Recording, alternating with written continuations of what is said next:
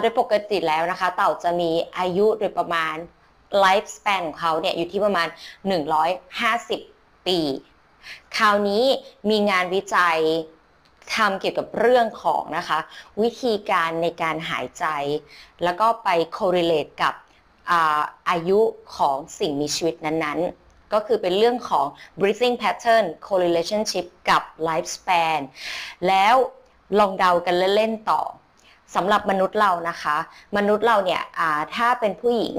ไทยอยู่ที่ประมาณ 75-85 ปีเนาะแล้วมนุษย์มีวิธีการในการหายใจที่เรียกว่าเราจะหายใจกัน 12-16 ครั้งต่อนาทีสำหรับคุณแม่ท้องอาจจะเพิ่มขึ้นมานิดนึง เนื่องจากว่าขนาดของปอดที่มันถูกให้เป็นขนาดเล็กลงจากการ กดดันจากตรงมดลูกเอ่ยขนาดของลูกในครรภ์เอ่ยนู่นนี่นั่นเนาะทำให้การหายใจของแม่ท้องอาจจะอยู่ที่ประมาณ 15 ถึง 20 ครั้งต่อนาที คราวนี้ลองเดากันเล่นๆว่าในหนึ่งนาทีเต่าหายใจกี่ครั้งแน่ มีให้เดาต่อนิดนึงสวัสดีค่ะแม่จุ๋มจิ๋งสบายดีนะ เมื่อกี้เรามาเดากันเล่นๆเนาะว่า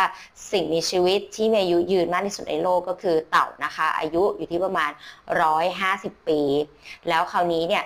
ครูก็บอกต่อว่างานวิจัยพบว่าสิ่งมีชีวิตยิ่งอายุยืนมากเท่าไหร่ เขาจะหายใจลึกช้ามากเท่านั้น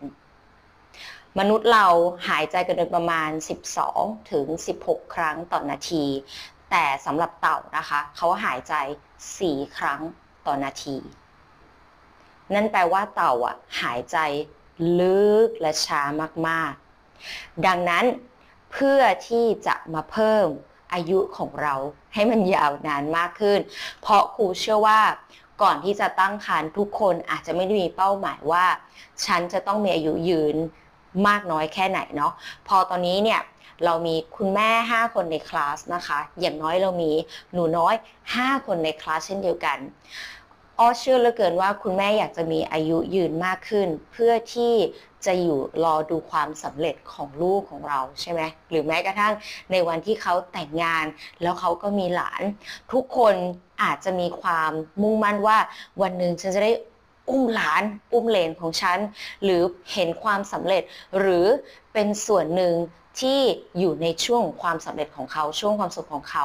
ดังนั้นการที่มีอายุยืนมากขึ้นก็อาจจะเป็นอีกหนึ่งปัจจัย อันที่สองบางคนไม่แน่เนาะอาจจะมีความมุ่งมั่นตั้งใจว่าฉันจะเป็นโสดาบันในชาตินี้ ดังนั้น ฉันก็อยากจะมีอายุยืนมากขึ้น เพื่อได้มีโอกาสทำความดีสร้างบุญสร้างกุศลมากขึ้น ไม่ว่าจะเป็นเหตุผลใดๆครูเชื่อว่าการมีอายุยืนน่าจะเป็นส่วนหนึ่งของมนุษย์เราทุกคนไม่มากก็น้อย การฝึกหายใจแบบ box breathing นะคะ ช่วยให้การหายใจของเรายาวลึกและช้ากลับมาเหมือนเดิมนะ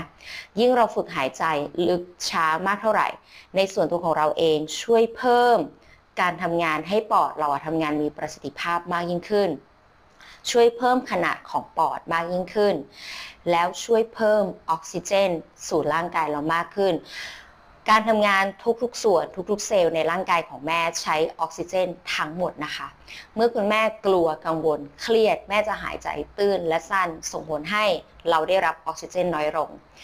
ลูกได้รับออกซิเจนน้อยลง ส่วนต่างๆในร่างกายได้รับออกซิเจนน้อยลง ดังนั้นระบบการทำงานต่างๆ ในร่างกายก็อาจจะมีผลลบ ดังนั้นแค่เริ่มจากการฝึกหายใจอย่างถูกต้อง มันก็ช่วยต่อชีวิตเรา แล้วช่วยระบบต่างๆ ในร่างกายได้แล้ว เริ่มจากใครจะนั่งบนเก้าอี้เหมือนที่ครูนั่งตอนนี้ก็ได้นะคะ หรือแม่จะนั่งกับพื้นก็ได้นะได้ทั้งสองแบบเลย เมื่อนั่งแล้วรู้สึกถึงการผ่อนคลายหัวไหล่นะคะ หมุนหัวไหล่ ให้เริ่มจากหัวไหล่ไปที่ใบหูแต่ละข้าง แม่จะรู้สึกถึงการยืดยืด ข้างต้นคอของเราหกห้าสี่สามสองและหนึ่งคราวนี้เปลี่ยนบ้าง ผ่อนคลายหัวไหล่ ดึงหัวไหล่ออกห่างจากใบหู ผ่อนคลายที่ตรงแขนของเรา เปลี่ยนบ้างคราวนี้ ค่อยๆนะคะ ขยับต้นคอของเราทิศทางให้ใบหูใกล้กับหัวไหล่ หูด้านขวาใกล้กับหัวไหล่ด้านขวา หายใจเข้า หายใจออก หูด้านซ้าย ใกล้กับหัวไหล่ด้านซ้ายครูขออีกสี่รอบนะคะ สี่สามสองและหนึ่งผ่อนคลาย คราวนี้มองมาที่ครูก็ได้ หรือจะมองไปที่เพดานก็ได้ หายใจเข้า หายใจออกกดคางชิดอกให้รู้สึกถึงการหยิดยืดบริเวณหลังต้นคอของเรา หายใจเข้า หายใจออกห้า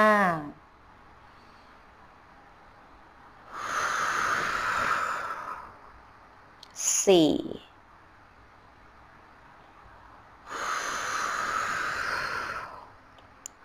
สาม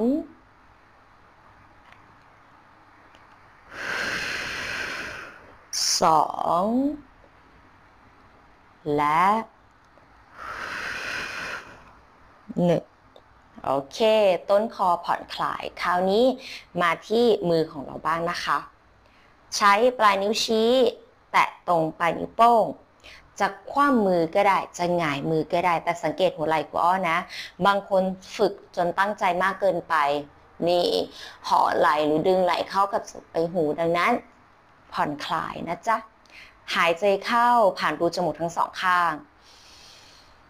หายใจออกเป่าลงออกผ่านปาก อีกสองรอบนะคะ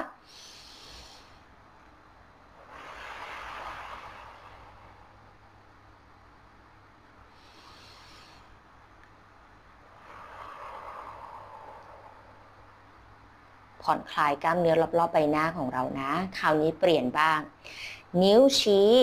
มาอยู่ตรงกลางนิ้วโป้งนะคะโอเค จะคว่ำมือจะหงายมือแล้วแต่คุณแม่เลยผ่อนคลาย คราวนี้ตอนที่เราหายใจเข้า คุณแม่จะรู้สึกสวงอกขยาย การหายใจเรามันจะลึกลงเนาะหายใจออกผ่อนคลายสวงอก หายใจเข้า หายใจออก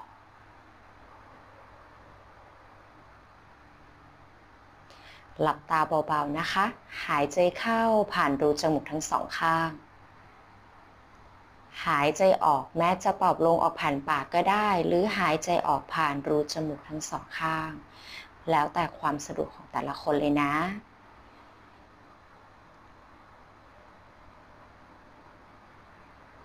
เราจะรู้สึกถึงการผ่อนคลาย เราจะได้รับออกซิเจนมากขึ้น ในขณะที่หลับตานะคะ คราวนี้ค่อยๆ ขยับนิ้วชี้มาที่ตรงโคนนิ้วโป้ง หายใจเข้า คราวนี้แม่จะรู้สึกว่า ลมหายใจเดินทางลึกลงสู่คันของเรา สู่ลูกในคันของเรา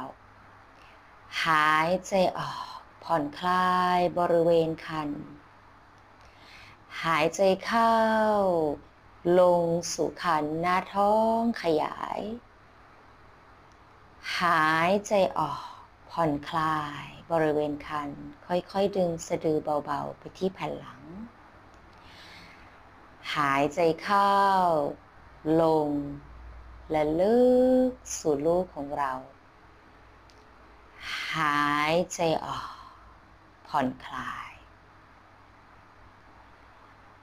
แล้วค่อยๆลืมตานะคะ มือของคุณแม่ยังอยู่ในท่าวายุมุตราอยู่นะ ก็คือนิ้วชี้แตะตรงโคนนิ้วโป้งนะคะ หายใจเข้าลึกลงสู่คันรูปในคันของเรา หายใจออกค่อยๆ ดึงสะดือเบาๆ ไปที่แผ่นหลัง คราวนี้จินตนาการไปพร้อมกับอ้อสำหรับ box breathing หรือการหายใจแบบกล่องนะคะ ลองจินตนาการว่ากล่อง เป็นลักษณะคล้ายๆกับสี่เหลี่ยมครูอ้อขอเป็นสี่เหลี่ยมจัตุรัสก่อน หายใจเข้าอยู่ที่ประมาณ 4 วิ แล้วมีช่องว่างหลังหายใจเข้า 4 วินาที หายใจออกอยู่ที่ประมาณ 4 วินาที แล้วมีช่องว่างหลังหายใจออกที่ประมาณ 4 วินาที หายใจเข้า ช่องว่าง หายใจออก ช่องว่าง ครูเลือกใช้คำว่าช่องว่าง แทนที่จะใช้คำว่ากั้นหายใจ เพราะว่ากั้นหายใจหน้าเราจะเป็นแบบเนี้ยแต่ครูอยากให้แม่ๆนะผ่อนคลายร่างกายทุกส่วน ดังนั้น หายใจเข้า ช่องว่างหลังหายใจเข้า หายใจออก ช่องว่างหลังหายใจออกนะคะ หายใจเข้าสองสามสี่ช่องว่างสองสามสี่ออกสองสามสี่ช่องว่างสองสามสี่เข้าสองสามสี่ space สองสามสี่ออกสองสามสี่ space สองสามสี่ลองทำไปเรื่อยๆ หายใจเข้า ช่องว่าง หายใจออก ช่องว่าง อีกสองรอบนะคะ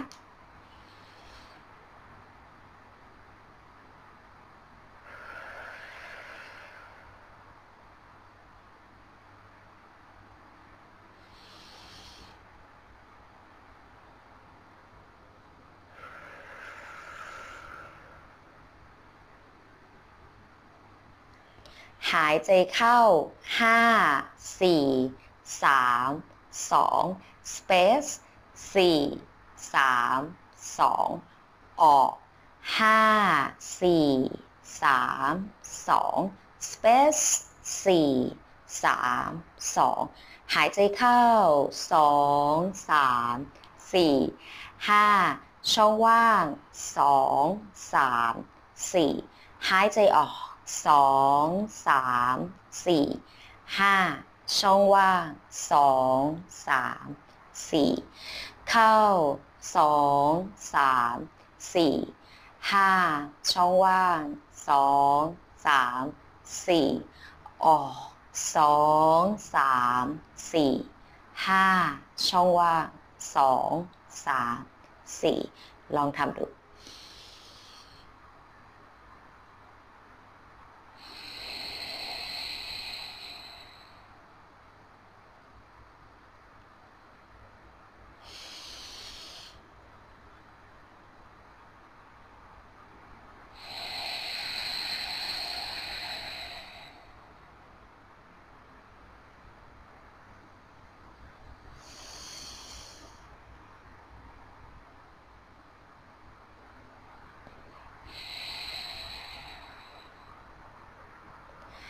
แล้วค่อยๆนะคะกับวิธีการหายใจปกติของเรา หายใจเข้า รับรู้ว่าเข้า หายใจออก รับรู้ว่าออก ผ่อนคลาย โอเค วันนี้ฝึก box breathing ย้ำไปหนึ่งรอบนะคะ ยิ่งเราฝึกหายใจลึกช้ามากเท่าไหร่ นอกจากที่ร่างกายของแม่ได้รับออกซิเจนมากขึ้นแล้ว ลูกได้รับออกซิเจนมากขึ้นแล้วคำว่าพรานาหรือลมปราณในเชิงของโยคะนะคะ นั่นก็คือ life energy หรือพลังชีวิต ลูกก็ได้รับพลังงานชีวิตมากเช่นเดียวกัน แล้วที่สำคัญฝึก box breathing ประจำเพื่อช่วยเพิ่มการทำงานของปอดของเรา เพื่อช่วยขยายขนาดของปอดแล้วที่สำคัญช่วยเพิ่มนะคะอายุของให้ยาวนานขึ้น